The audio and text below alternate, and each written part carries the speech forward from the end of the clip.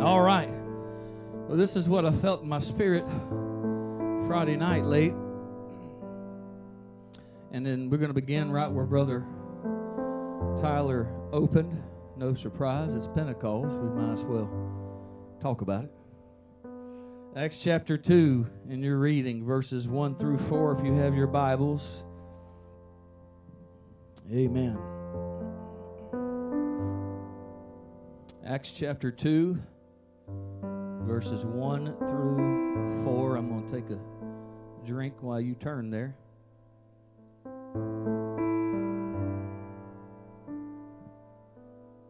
I want you to listen carefully to some of the verbiage here.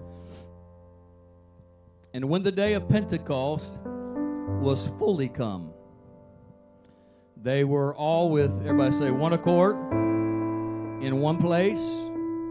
And suddenly there came a sound from heaven. Everybody say, a sound from heaven, as of a rushing mighty wind. And it filled all the house where they were sitting. You can receive the Holy Ghost sitting down. Ain't that awesome? You can receive it in your car. You can receive it on the edge of your bed. You can receive it driving down the highway. You might have to pull over.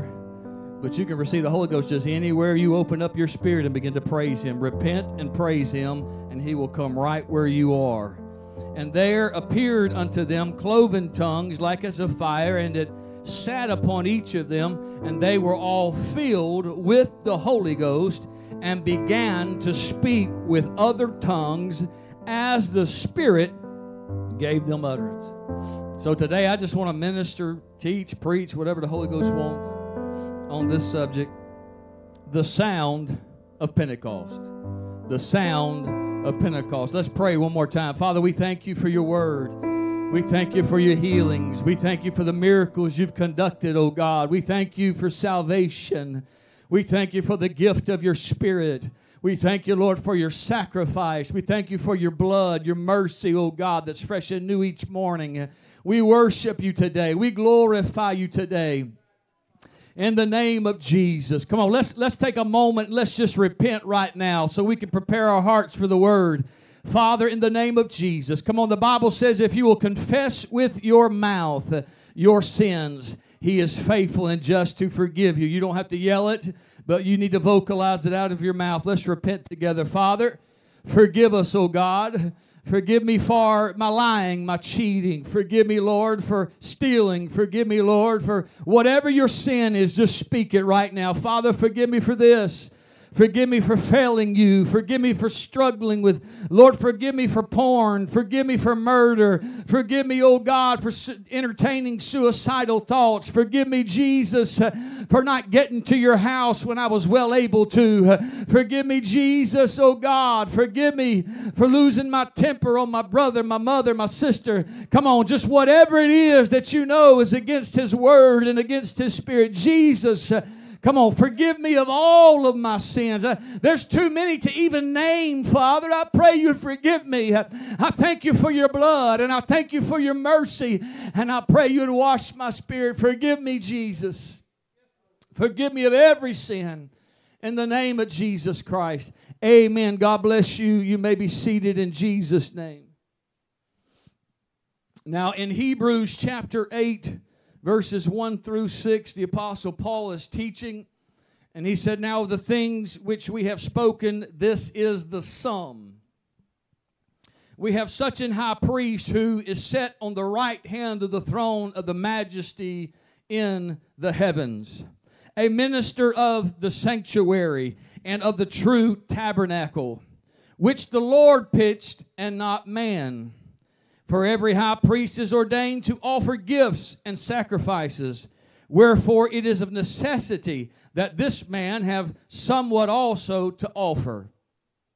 For if he were on earth, he should not be a priest, seeing that there are priests that offer gifts according to the law. Here we go, verse 5.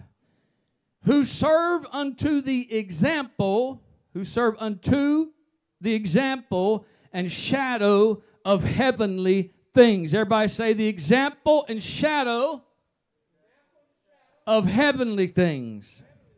As Moses was admonished of God when he was about to make the tabernacle.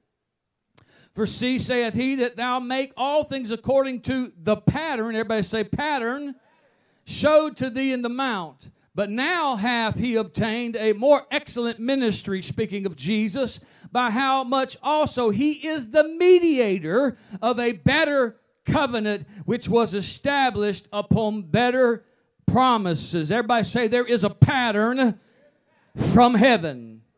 Amen. Let's go to Exodus and let's look at this pattern for a moment. Exodus 28, verses 33 through 36. Y'all know I'm a word man, so we got to dig. And beneath upon, now he's speaking here and describing to them how to build the garment, how to make the garment of the priest in the tabernacle while he's doing the tabernacle services, while he's ministering in their tabernacle. This is a specific portion of how he is making that garment. And he says, Beneath upon the hem, the bottom part of the garment toward the ground, bells of gold between them round about, a golden bell and a pomegranate, a golden bell and a pomegranate, a pattern here. Upon the hem of the robe round about, and it shall be upon Aaron to minister. And listen, his sound Everybody say sound. Shall be heard when he goeth in unto the holy place before the Lord, and when he cometh out, that he die not. We don't want, we, we don't want the priest dying. We, we don't need the priest dying. And thou shalt make a plate of pure gold, engrave upon it like the engravings of a signet, holiness to the Lord. Now, Jewish tradition teaches that there was a rope tied to the priest's leg, and as he went in to the holiest of holiest, lest the priest be unclean and the Lord strike him dead. And so he would, that's what he's talking about, that he die not. We don't want the Lord striking the priest dead, so the priest got to make sure he's clean. Not only is he sacrificing for the people, but he's got to sacrifice for himself. He has to make sure he's clean. If he's not, and he gets in there uh, uh, in that presence of the pure holiness of God, the Lord would strike him dead. So they tied that, that rope around his, his, uh, his ankle in case. he didn't do what he was supposed to do, and he went in there unclean so the Levites could pull him out. Isn't that scary? There's a proper fear of God, and they had it, and this country lost it. American Christianity lost the fear of God. We think He ought to answer to us instead of us answering to Him. But they had this fear of God. They tied that rope just in case. He might appear good, he might be right. That's why the scripture says there's a form of godliness, but they deny the power thereof. And he might have looked holy and looked right, but he might have gotten there and the Holy Ghost said, uh uh-uh, uh, you don't reach my checklist. You're not sanctified. You're not justified. Boom. Might shake some congregations if he did a little bit of that now. Might stir up some people to repent. And so they'd pull him out. But listen to what the CJB says, and that's the complete Jewish Bible version. It says, its sound. And so when he went in, its sound, referring to the bells making noise as the priest ministered by this, they knew he was alive and well because he's moving and he's shaking the, the, the blood on the mercy seat and he's moving and bouncing and worshiping. He's in the presence of God. You saw what we just did in the presence of God. We danced, we ran, we moved. There's an electricity in the Holy Ghost. You can't help but move when He's moving. And if you want to get in the groove with Him, you got to move. And so He's in there moving. So them bells are clanging, bing, bing, whatever noise they was making. I can't make bell noises by myself. Somebody help me. Where's my drummer at? Ting, ting. And, so, and so there's there's movement, but should it suddenly cut off? There's no sound coming from the holy place. What's going on with the priest? Oh, priest, you still breathing in there? If there was no, no noise and no sound, they would pull him back out and they'd have to do some repenting and some sanctification and try to go back in, and somebody else had to be bold and brave enough to go back in there and do his job. But the KJV says, his sound not its sound, but his sound. His sound shall be heard, his voice calling aloud, worshiping in the holy place. And so the pattern is uh, where the Spirit of the Lord is, uh, there will be a sound. Come on. Where the Spirit of the Lord is, there will be clapping. Where the Spirit of the Lord is, there will be dancing. Where the Spirit of the Lord is, somebody's going to have to shout, Yes!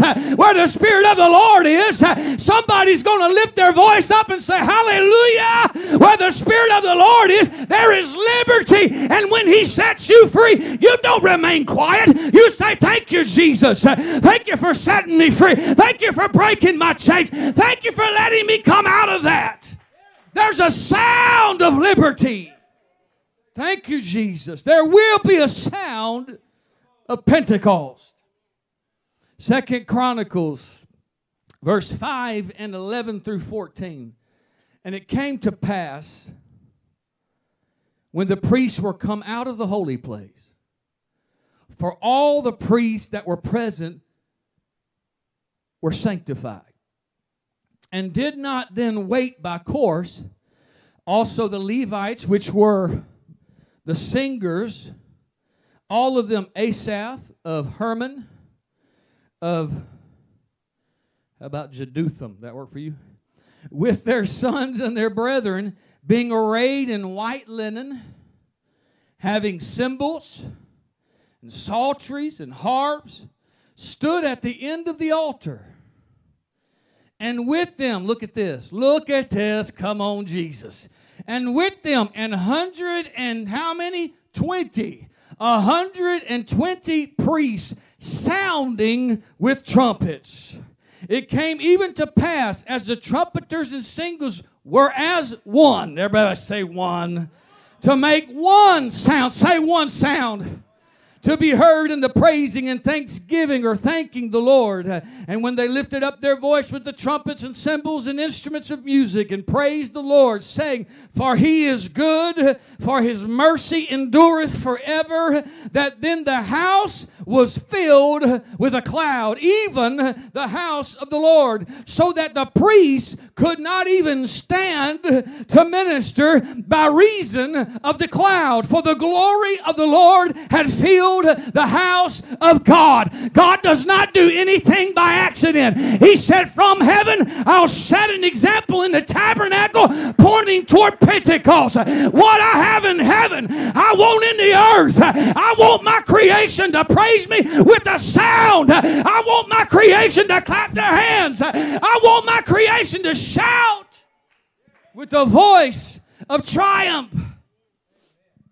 Come on, look at him. Just as there was 120 priests in the tabernacle, there were 120 disciples in the upper room when the Holy Ghost fell, including Mary, the mother of Jesus. And if she had to have the Holy Ghost, who do you think you are? She gave birth to the one with the Holy Ghost. And just as there was one sound, in the outer court of the tabernacle, there was one mind and one accord in the upper room.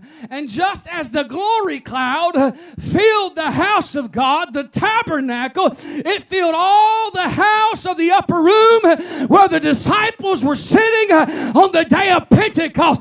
There is a sound of Pentecost. There is a sound of the outpouring of the Holy Ghost. I hear the sound of the abundance of rain, and I want to get myself under the rain, under the sound, under Him. There's a sound of Pentecost. Psalm 89. Psalm 89, 15 through 18. Blessed is the people that know the joyful sound. They shall walk, O Lord, in the light of thy countenance. In thy name shall they rejoice all the day, and in thy righteousness shall they be exalted.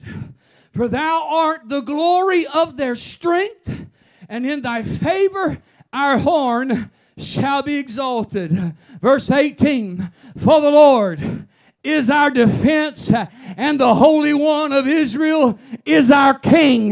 Do everything you think you're big enough to do, Satan. But one thing you ought to know and do know, and I remind you and I remind my feelings my God is King. Jesus is King. And Jesus is my advocate. And Jesus is my sound. He's my buckler. He's my shield. He's my warrior of righteousness. He's the one that goes before me and follows behind me. He protects me on my left and on my right. There's nobody like Jesus. There's no weapon like the Word of God. There's no help like the Holy Ghost. And there is a sound of Pentecost. The complete Jewish Bible says it like this How happy are the people who know the joyful shout. They walk in the light of your presence, Adonai. There is a sound of Pentecost. When we come out of our bondage, if we've ever been a prisoner, don't tell me they don't come out into the open and kind of go, "Whoo, it's nice to be out here. No bars around me. It's nice to be. It's nice to be out here, breathing this free air instead of all this block wall and all this room and this containment. I'm free." When I'm set free, I'm free. The Bible says, He that the Son make free is free indeed. He'll set you free. He'll deliver you. You don't have to go back. You don't have to go back to that. He's made you free. Thank you, Jesus. And listen, there's a sound of Pentecost where the Spirit of the Lord is. There is liberty. I love that song. There's liberty, there's freedom, and you're not going to keep me quiet when He sets me free. You're not going to make me shut up when He sets me free. I'm sorry you're going through it, but just get out my way for a moment. He's been good to me. Don't let nobody box you in when it comes praise time. Knock them down if you got to. Say, Excuse me. You can sit here like a lump on a log if you want to. But I'm going to show you what it looks like when somebody is set free. When somebody realizes they're free. John chapter 3. One of my favorite portions of Scripture.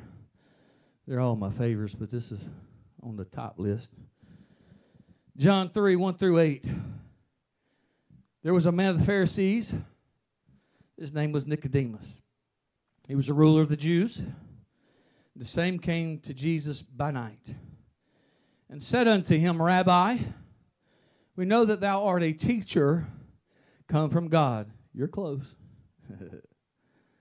For no man can do these miracles that thou doest except God be with him. His name shall be called Emmanuel, for God is with us. Little insert.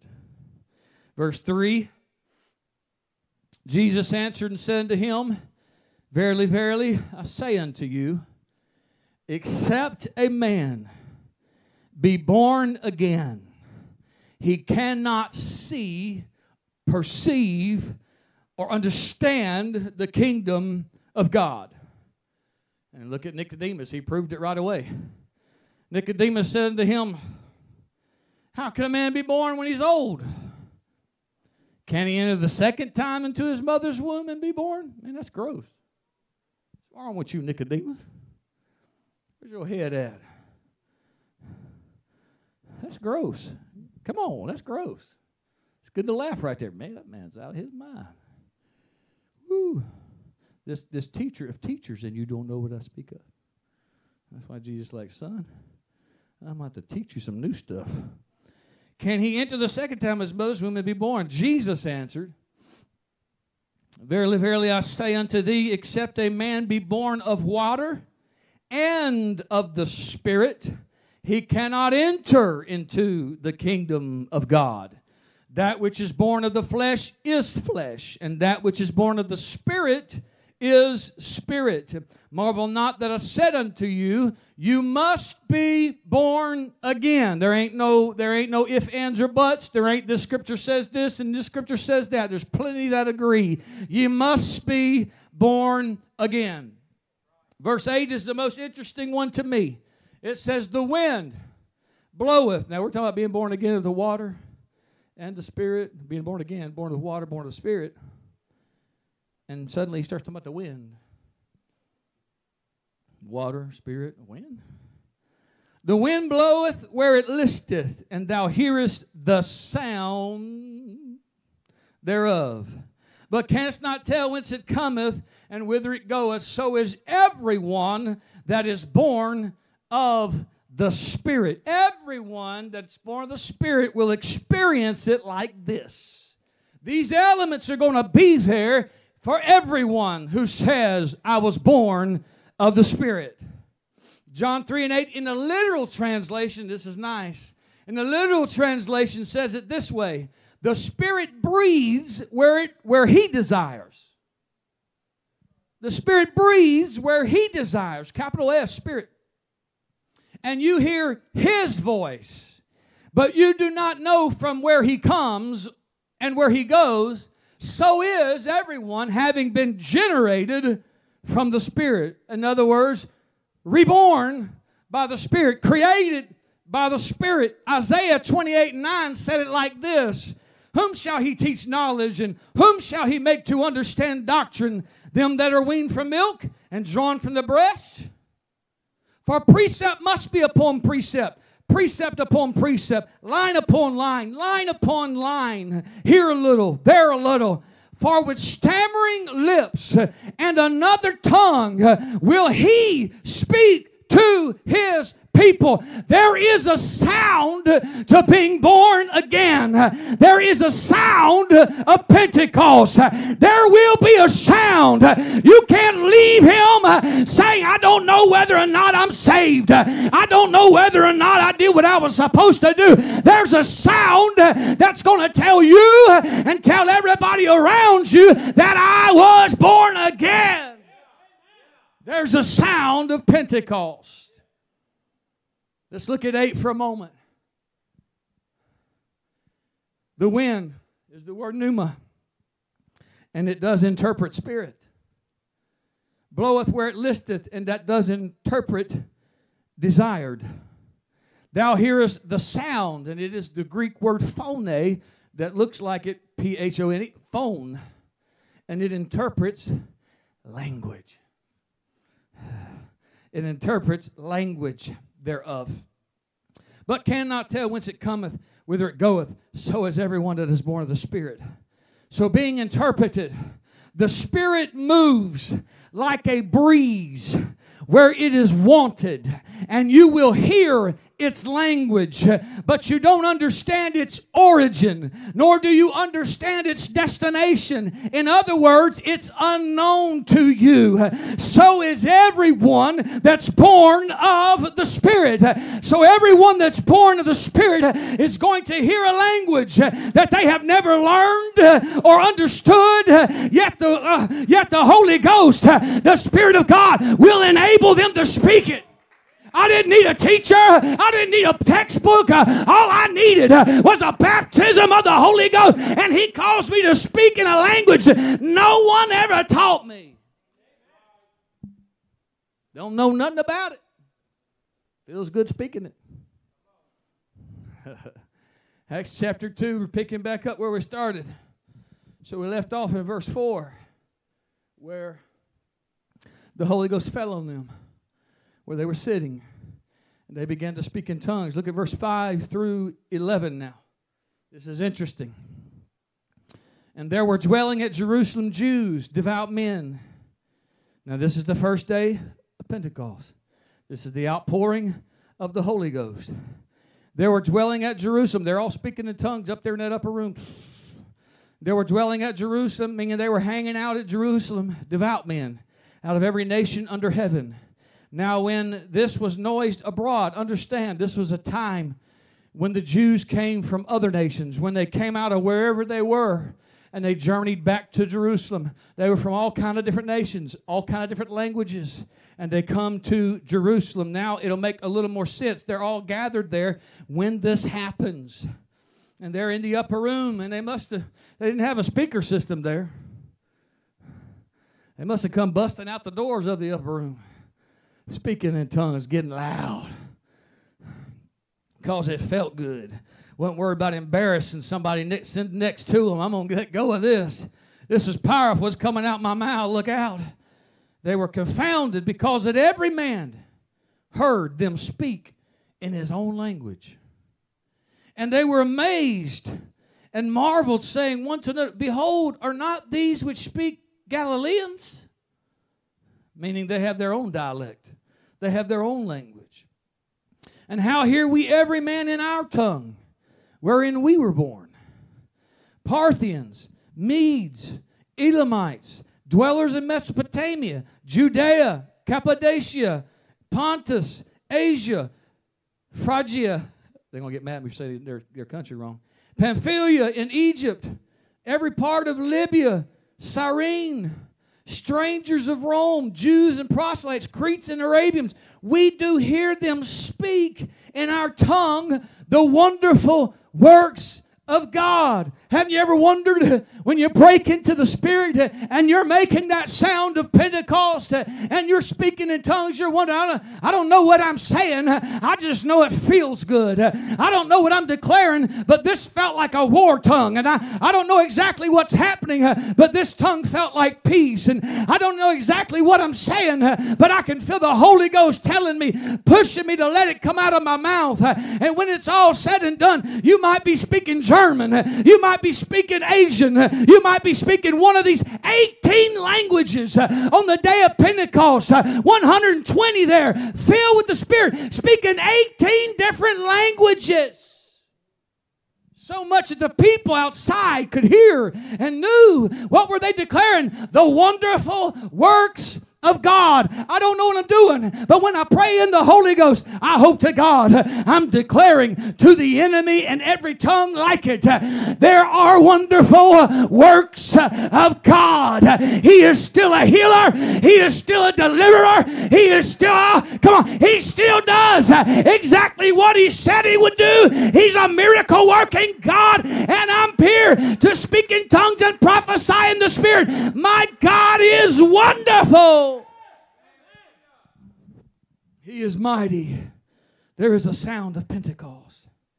Paul even teaches us in the book of Corinthians that not only will the Spirit lead us to speak in the tongues of men, but also of angels. I don't know if any man's going to interpret that for you. And being born of the Spirit will open the gift of diverse kinds of tongues or different kinds of languages. So, how is it possible that this could happen? Because it is the sound of Pentecost. It is the sound of Pentecost. The tabernacle was a pattern of things from above and a foreshadowing of things to come. And the complete Jewish Bible for John 3 and 3 says, Ye must be born again from above. From above. We've all been born from beneath. But when you're born again, you're born from above.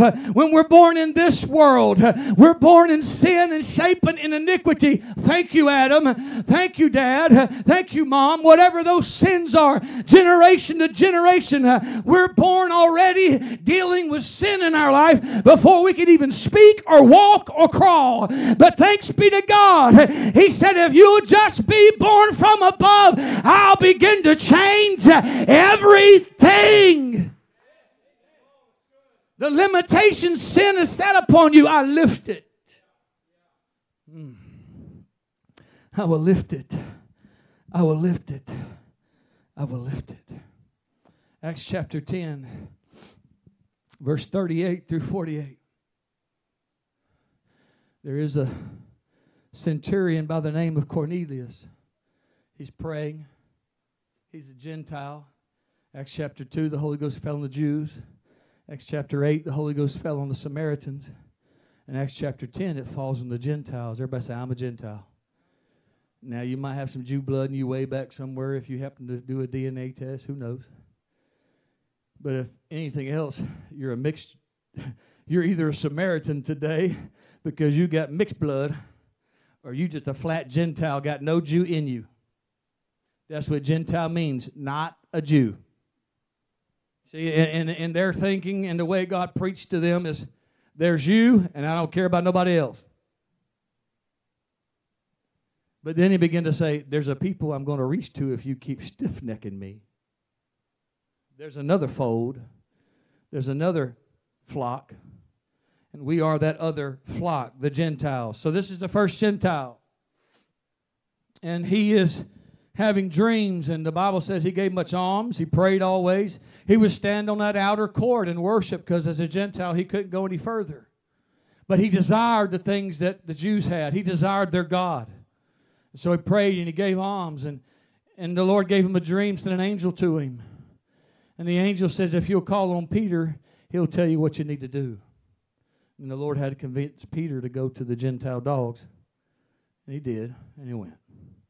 And Peter's preaching, and you can read the rest of 10 till you get to verse 38, and here's where it turns interesting.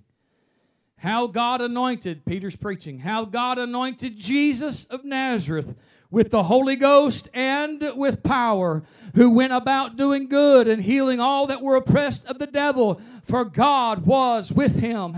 And we are witnesses of all these things which he did both in the land of the Jews and in Jerusalem, whom they slew and hanged on a tree.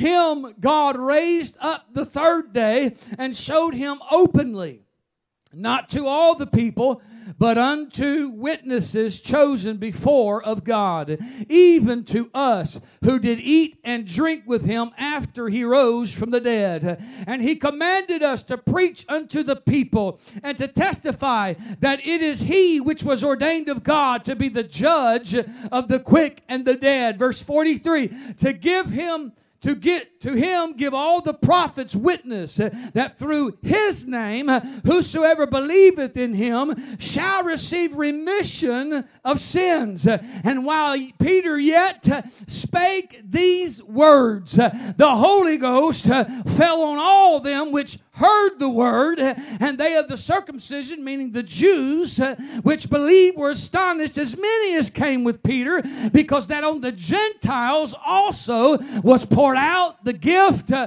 of the Holy Ghost. Thank you, Jesus. Uh, how do you know uh, that the gift of the Holy Ghost was poured out on them? Verse 46 For they heard them speak with tongues and magnify God. There was a sound that could only be resonated from Pentecost. And now Pentecost had come to the Gentiles, and the Gentiles received their Pentecost. And they made the same sound the Jews did. And that's how they knew that they had received the same gift. And then Peter said, verse 47 Can any man forbid water that these should not be baptized? for which we have received the Holy Ghost as well as we. They received it just like we did. And he commanded them to be baptized in the name of the Lord. Then they prayed them to tarry certain. There is a sound of Pentecost. And when you experience your Pentecost, there will be a sound. There will be a language. You will speak in other tongues unknown tongues.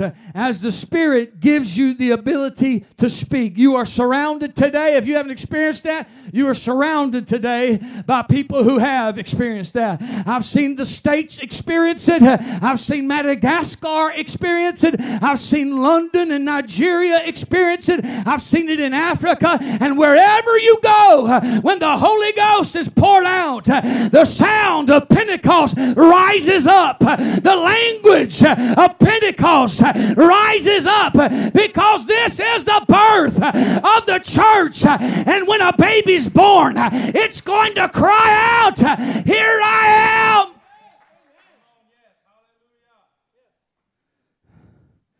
Now that we know the sound of Pentecost, what is Pentecost? And you can stand with me. I'm going to wrap this, bring this bird down.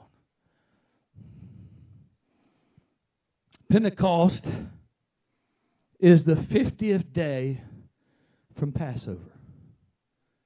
50th day from Passover. And the day of Pentecost fell on the Jewish celebration of the Feast of Weeks.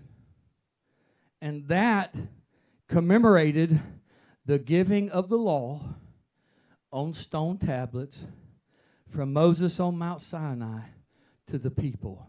It was literally the birth of the Jewish church. Ain't God cool? On the same day, the same celebration of the birth of the Jewish church, he births the Christian church. Jeremiah 31 and 33.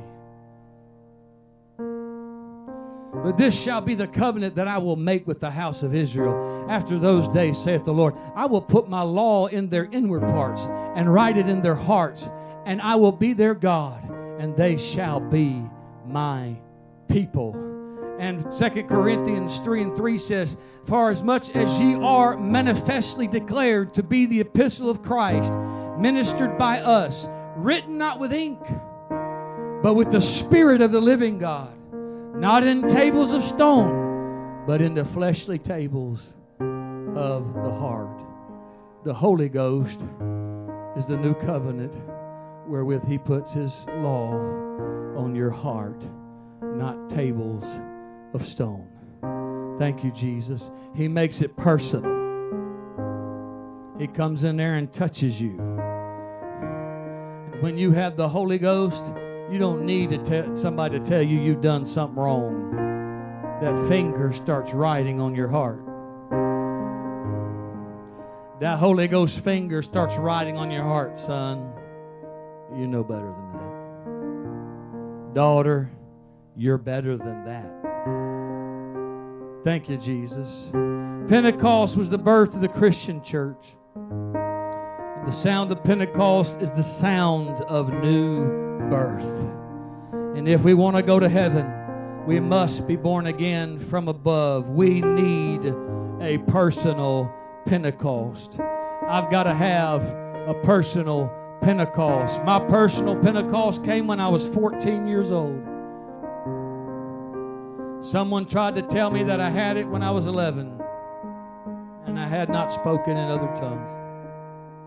And for three years, I jostled in my spirit whether I had the Holy Ghost or not. Wrestled, but kept stumbling in the same places. The problem with our world is they want to tell you you don't need that. Yeah, you don't need that if you want to stay in your sin. You don't need that if you want to go to hell. You don't need that if you want to serve yourself and serve Satan. But if you want to be delivered, if you want to be set free, if you want to step into the kingdom for such a time as this, this is the day of your salvation. This is the hour of Pentecost. This is the time frame that we're living in where we need the Spirit of God to change us so we can change our world. Come on, let's pray right now. We worship you, Jesus. We bless you, Father. We exalt your name. We magnify your name. We glorify your name. Come on, lift your voices unto the King of glory. Come on, let's make a sound of Pentecost today. Let's let the sound of Pentecost go up. Come on, let's pray in other tongues as the Spirit of God give us utterance. Come on, pray in your heavenly language. Pray in the language of the Spirit. Come on, let your sound go up. Hallelujah. Go up with a joy joyful shout. We worship you, Jesus. We worship you, Jesus. There's victory. There's victory. There was victory on the day of Pentecost. There's victory in your Pentecost. There was victory because the blood set you free. There was victory because the Spirit brought you out of darkness into His marvelous light. There was victory on your Pentecost. Hallelujah. Hallelujah. I bless you. I praise you. I exalt you. I adore you. Hallelujah. Come on, let's pray in the Holy Ghost. Hey, In the name of the Lord Jesus, I pray you pour out your spirit uh, on every hungry vessel today. Come on, lift your voice. Come on. You can't pray without opening your mouth. You can't pray. He's not going to draw near to you uh, if you keep your mouth closed. But open up your mouth and lift it toward heaven and begin to proclaim, I love you, Jesus. I bless you, Jesus. I praise you, Jesus. Fill me with your Holy Ghost from my head to my toe. Fill me again with the Holy Ghost. Renew my spirit. Oh, hallelujah, hallelujah, hallelujah. This is the day that the Lord hath made. I will rejoice and be glad in it. Thank you, Jesus, for the birthday of the church.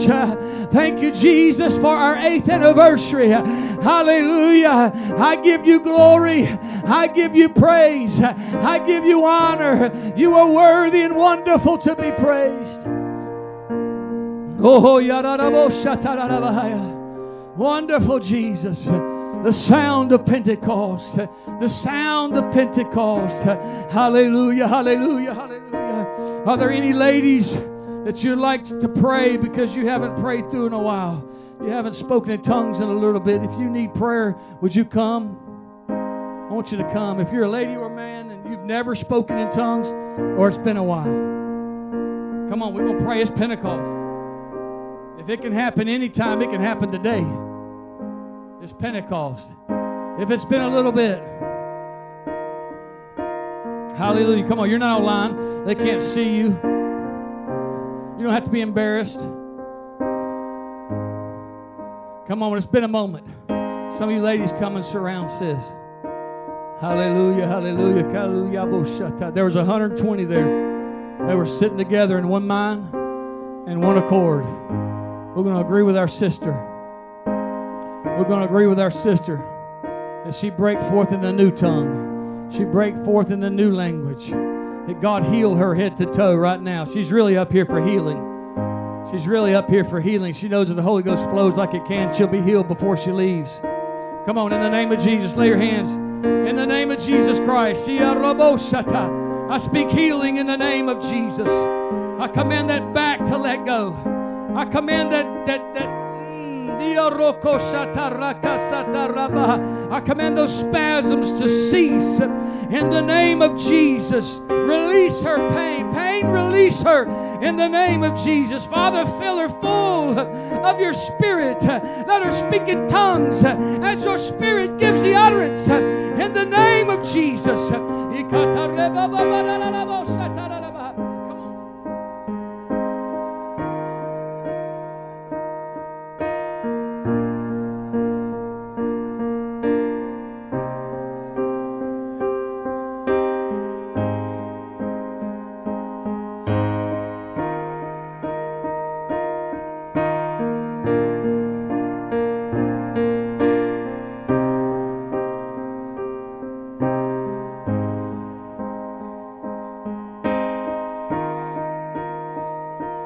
That's it. Come on, come on. In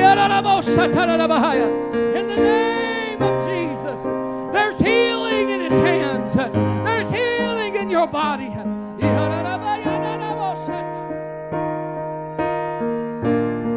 Oh, we thank you, Jesus. We thank you, Jesus. We thank you, Jesus.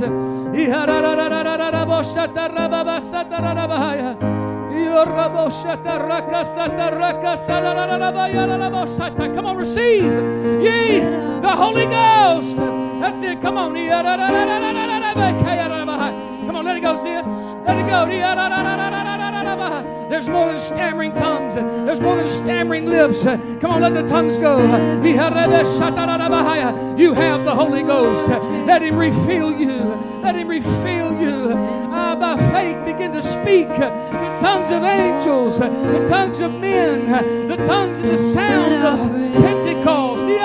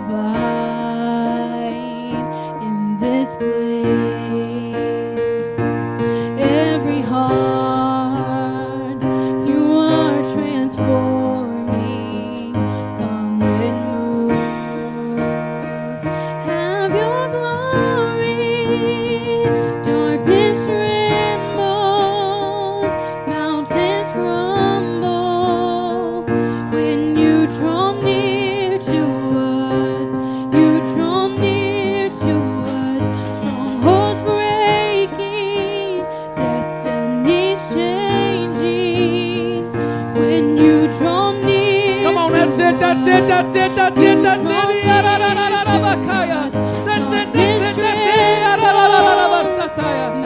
Yararararabasataya. In the name of Jesus. In the name of Jesus. Hallelujah, hallelujah, hallelujah. Hallelujah, hallelujah. Hallelujah, hallelujah. I rebuke all unbelief. I rebuke every doubt and every fear. I rebuke rejection in the name of Jesus. In the name of Jesus. Be free. Be free from rejection. Be free in the name of Jesus. Be free.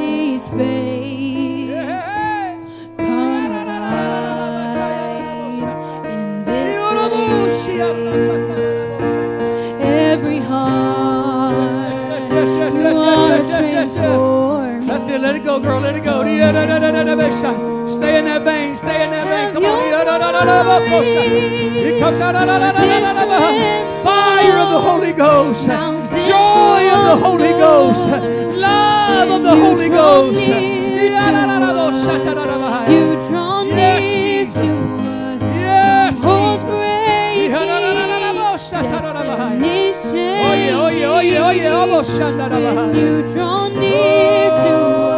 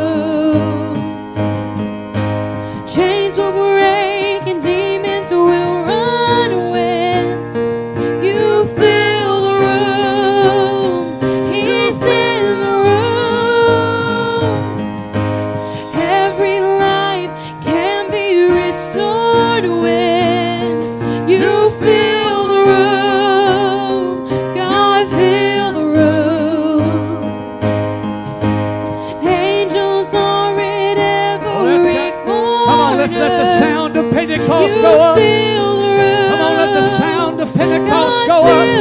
Let the sound of. Pentecost go up.